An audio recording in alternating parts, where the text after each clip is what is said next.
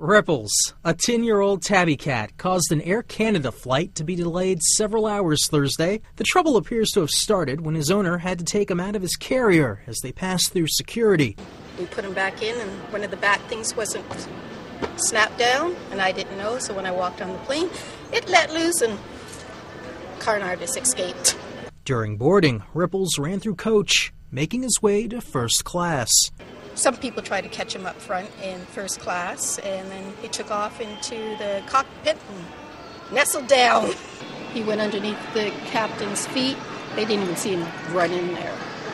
And scooted up underneath the duct tape stuff. The cat then wormed its way into an inaccessible area of wiring in the cockpit. The passengers had to leave the plane as technicians took apart pieces to get Ripples out. When the cat was finally freed, passengers were allowed back on board, and the flight left Halifax, headed for Toronto at 10 a.m., more than four hours after its scheduled departure time.